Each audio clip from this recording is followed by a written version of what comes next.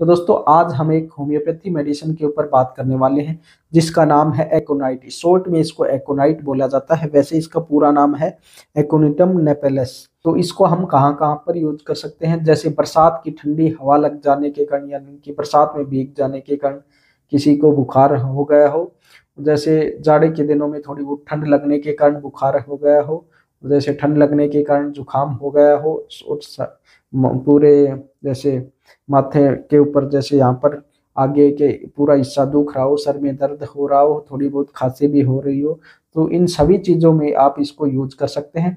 बस बस आपको इसको सिर्फ़ तीन बूंद जीप पर डायरेक्ट टपकाना है।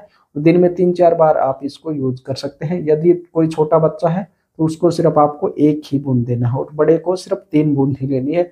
या तो थर्टी पोटेंसी में या फिर दो सौ पोटेंसी में यदि छोटा बच्चा है तो सिर्फ़ थर्टी पोटेंसी में ही आपको इसको यूज़ करना है।